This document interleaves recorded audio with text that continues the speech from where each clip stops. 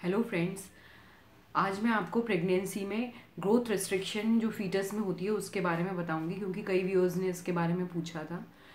तो प्रेगनेंसी में फीटस की ग्रोथ क्यों रेस्ट्रिक्ट हो सकती है और किस किस पीरियड पे रिड्यूस होगी तो उसकी क्या सिग्निफिकेंस है? तो हमारा इसको हम बोलते हैं फीटल ग्रोथ रेस्ट्रिक्शन ये दो तरह का हो सकता है सिमेट्रिकल या एसिमेट्रिकल तो ये हमें अल्ट्रासाउंड पे पता चलता है सिमेट्रिकल जो होता है उसमें आ, सारे बच्चे की जो लिम्स हैं मतलब कि जो फीमर की हड्डी है वो भी कम होगी पेट की हड्डी भी अबडोमिनल सरकमफ्रेंस भी कम आएगा और हेड सरकमफ्रेंस जो है बेबी का डायमीटर जब हम नापेंगे अल्ट्रासाउंड में वो भी कम आएगा। तो ये होता है बच्चे में इन्फेक्शन की वजह से या फिर कोई अनुवांशिक बीमारी की वजह से या कोई जेनेटिक कॉज होगा। तो सिमेट्रिकल आईयूजीआर होता है।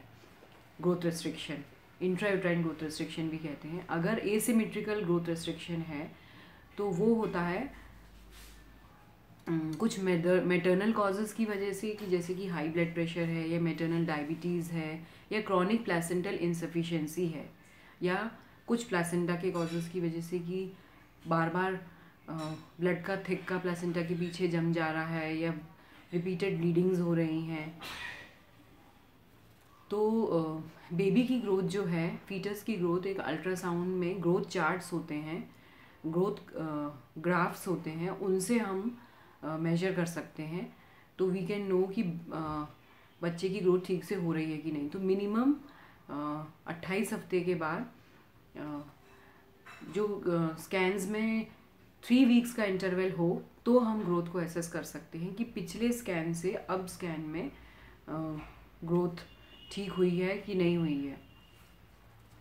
तो ग्रोथ रिस्ट्रिक्टेड बेबीज़ जो हैं, वो ऑब्वियसली उनको ऑक्सीजन की कमी रहती है, उनका उनको बाद में काफ़ी प्रॉब्लम्स हो सकती हैं। जैसे डिलीवरी होते से ही जब वो नियोनेट होंगे, उनको हाइपोक्सिया तो हो गई, उनको हाइपोग्लाइसीमिया भी हो सकता है ग्लूकोज की कमी कैल्शियम की कमी, उनको दौरे झटके पड़ सकते हैं कन्वर्जन्स आ सकते हैं आईसीयू में एनआईसीयू में एडमिट होने के चांसेस हो सकते हैं। और लॉन्ग टर्म में भी ऐसे बच्चों को स्पीच बोलने में प्रॉब्लम हो सकती है लर्निंग डिफ़िकल्टीज़ हो सकती है और दूसरा न्यूरो डेवलपमेंटल हो सकता है।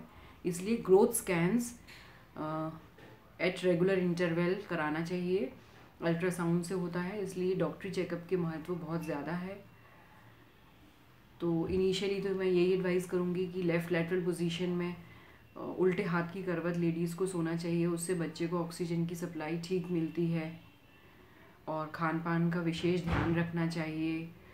खाने में प्रोटीन और विटामिन की मात्रा ठीक से लेनी चाहिए।